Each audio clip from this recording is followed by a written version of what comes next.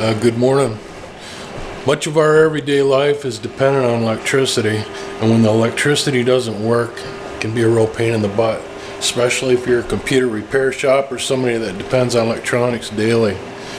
In this edition of Guru Brew, we're going to go over some of the methods that you can use to provide power for yourself even though your uh, utility company is not providing it for you. Stay tuned. We'll get started talking about uninterruptible, un uninterruptible, uninterruptible, uninterruptible, uh, un un uninterruptible, uninterruptible, uninterruptible power supplies on this edition of Guru Brew.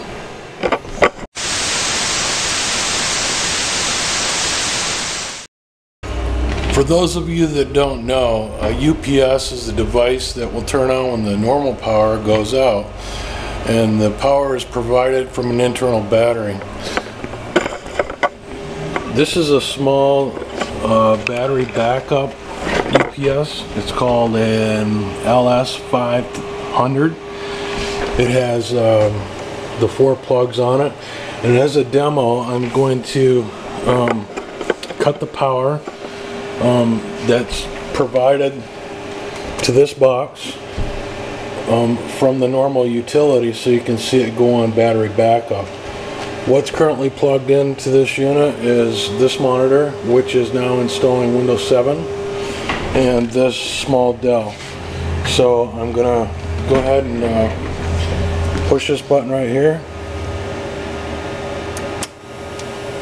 and you can see that the on battery light is kicked on but everything is running quite normally so there's no interruption at all in the car. so that's how these battery backups work and then when it's just sitting idle they're monitoring their own batteries and charging it um, let's go and turn that the mains back on you'll see that it comes off standby so that's how it works on to the next.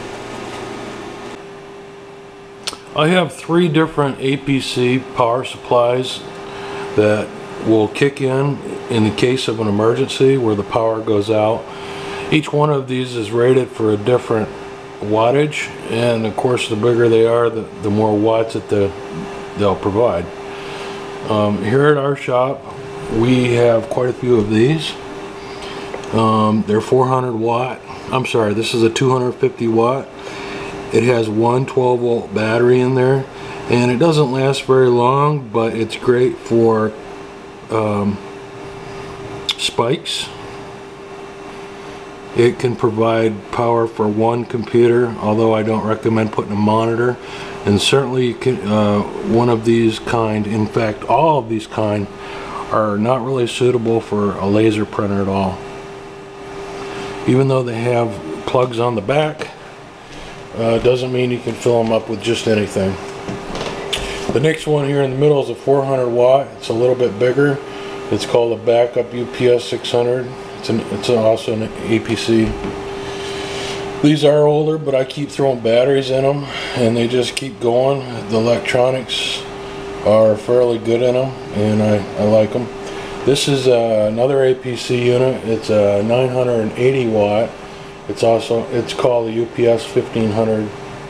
All of these power supply, all of these UPSs, I should be calling them, uninterruptible power supplies, include a plug on the back um, that can be plugged into a computer for data monitoring. This one happens to run off uh, USB and as you can tell there's uh, one two three four outlets on each strip. Now this is very typical of a UPS normally uh, all these plugs are protected from spikes and surges. However usually only one row or column of them are used for battery backup. On this particular one I believe that they're all hooked into the battery.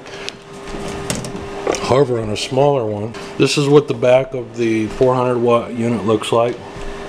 It has four outlets. And what is really important is to make sure that you don't overload these units. When the power goes off, it automatically transfers AC um, power that's normally coming from AC to the battery section inside. It goes through an inverter and then it provides power to whatever's plugged into these, these outlets. What I like to do um, here at the shop is to use a device um, such as this one. It's called a Kill A Watt meter and what this does is it will tell you exactly how many watts a device uses. So I will plug a computer into this or whatever I plan to um, hook into a battery backup and monitor the power in watts and then match it to whatever size of one of these units that I might need. Uh, for bigger jobs, you need a lot more batteries. Um, so I'll take you into the next room and show you a little bigger unit. Hang on. I apologize for the bad lighting and um, you know other conditions that might make this tough to see. What you're looking at is a power supply that's hooked up to um, three individual batteries. Uh, the bat, the one in the back is a uh, 12 volt, and the two in the front are two 6 volts. And by hooking it up this way, um, it allows us to get a pretty good runtime out of this um, normal power supply that would just have maybe two smaller 12 volt batteries. So in effect what we've done is just put external batteries on it, uh, you know, just a simple hack, and then plug in all our computers that are on this table into this one battery backup system. And this works really great. We get about 20 minutes out of this and it does just fine. So that's another way that you can use these battery backups uh, with extended battery life uh, using the same um, UPS supply. As a little demo to show you how much wattage um, selected electronics can take, in, in this Kill A Watt meter I have plugged in, it's now showing about 59 watts being consumed um, between this LCD monitor and this computer up here. It's just running a uh, small uh, security camera monitor. Uh, it comes down here into this plug and then goes into here. So I know that I need at least 60 watts if I were to put this on battery backup to provide enough power for it to run. So um, to be safe, I would probably use 100 watt on that, and that's how you can tell how much power you, um, devices are using. This is another style of an APC UPS that we use here in the shop.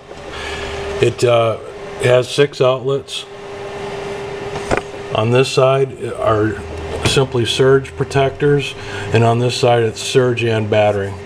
We um, have several of these units in different configurations around the shop that supply our smaller workbenches especially if we're doing a backup for a customer or something like that. We want to make sure that the power doesn't go out while we're doing the the transfer on a hard drive. So we'll just put one of these on our bench so that's another way that we use um, uninterruptible power supplies here at the business.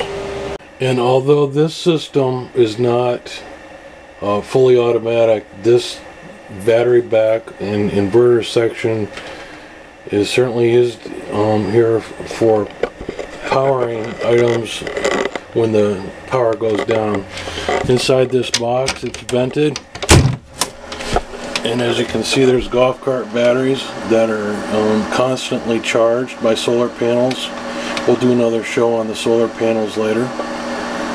They're all heavy duty batteries. And um, they go through these three inverters.